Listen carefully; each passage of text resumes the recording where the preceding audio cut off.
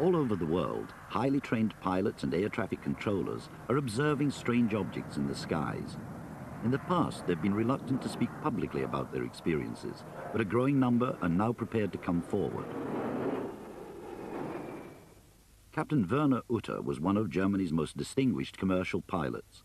During his time as chief pilot with Lufthansa, he had three separate sightings of UFOs, and although he didn't report them at the time, he's prepared to talk about them now. One flight, we took off in Beirut. Destination was Damascus first, and when we have passed the Lebanon mountains, I saw a light just ahead of our airplane. Suddenly this light came very fast towards us. First I thought it was an airplane and uh, this big light, it was two meters in diameter and it was pulsating. It was standing between the inside left engine and the cockpit. Suddenly, after one or two minutes, this light went up like a rocket and disappeared.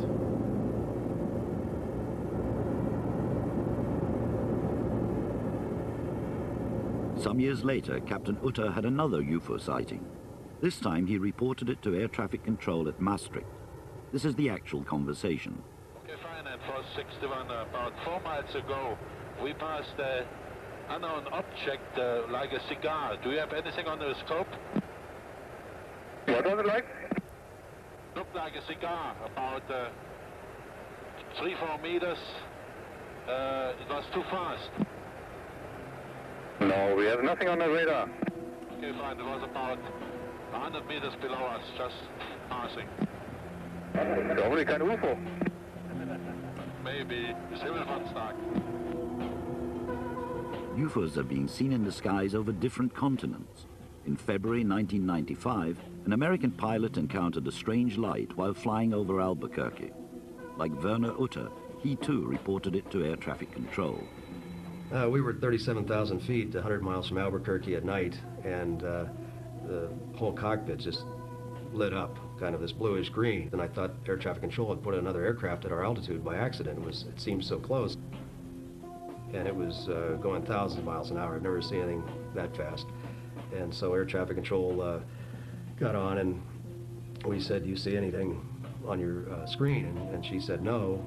And then she asked the other airliners in the area, and they said, yeah, we see it too. And one guy said, oh, it must be space debris. And, and right when he was saying that, this thing, a big pulse of white light came from behind it, and it just took off at a 45 degree angle back up. And I got on the radio and I said, well, when does space debris or meteorites go back up? And at that time, not there were four other airliners uh, representing all the carriers, and they nobody wanted to report it.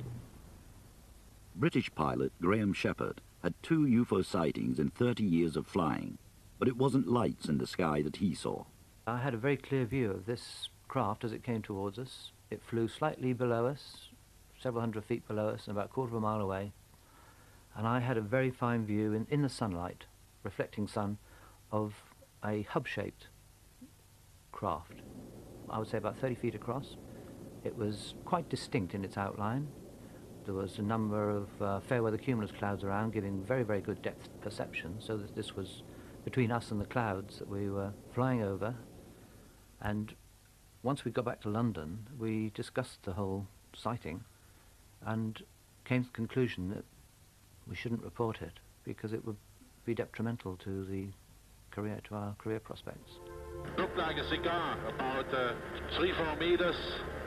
Uh, it was too fast.